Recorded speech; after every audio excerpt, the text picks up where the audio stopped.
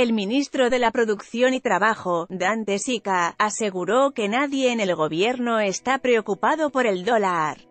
Al gobierno no está preocupado por la suba del dólar, ni tiene previsto tomar alguna medida al respecto. Consultado por los periodistas de Casa Rosada al término de la reunión de gabinete, el ministro Dante Sica señaló, tuvimos dos días feriados en la Argentina, algunos movimientos externos, no encontramos causa de preocupación con respecto al tipo de cambio.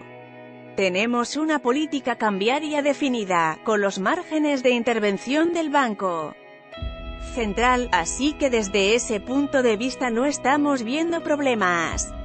En relación al aumento de la inflación, que en el mes de febrero sería tan alto como lo fue en enero, el ministro de Producción y Trabajo reconoció, no tenemos el número del INDEC, pero sí vemos que estaría dando por encima de lo que esperábamos. Para SICA, la razón es habría que buscarlas en los aumentos de los bienes regulados como las tarifas, ya para el mes de marzo tendrían que estar los últimos aumentos y no deberían impactar hacia adelante. Lo que hubo en el sector de la carne es un aumento estacional en el primer trimestre del año que fue más alto, quizás porque venía con un retraso de actualización, analizó.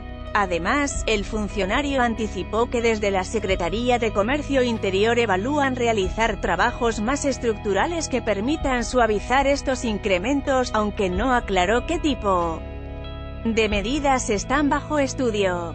Estamos viendo comportamientos muy diferenciales según el tipo de comercio, con aumentos de más del doble en algunos casos según supermercados o carnicerías, apuntó. El ministro también aseguró que, con respecto a la actividad industrial se observan los datos pero todavía hay que ser muy prudentes con los números.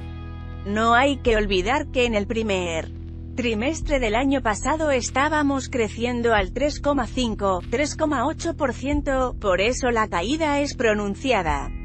De todos modos, estamos viendo que se está desacelerando la caída con respecto al mes anterior. Explicó. Reunión de Gabinete Nacional en Casa Rosada. Sica también dijo que en acero, construcción y cemento empezaron a verse indicadores positivos con respecto a diciembre, uno podría empezar a evaluar que quizás estamos encontrando el piso en relación a la caída. Con respecto a nuestra expectativa es que con esta macro que empiece a equilibrarse, vamos a empezar a ver una recuperación de la actividad económica, que irá de la mano de la recuperación del salario real. En relación a las suspensiones que se conocieron en el sector automotriz, diagnosticó, es un sector que seguimos casi a diario y las cámaras empresariales nos informan que hay un comportamiento muy dispar. Por un lado, la desaceleración de la segunda mitad el año provocó una acumulación de stock, lo que hace que las empresas hagan una parada de planta o suspensiones. Por otra parte, en otras cosas está vinculada a realizar tareas para poner en marcha nuevas líneas para adaptarse a los cambios de tecnología. Finalmente, Sika explicó que están aumentando las exportaciones a Brasil que es importante, pero también se abrió el mercado de Colombia y otros extra zona que están traccionando en forma diferenciada. Hay plantas como la de Toyota que están trabajando a full capacity o Mercedes-Benz que está trabajando al 80% y otros por caídas de demanda o acumulación de stocks.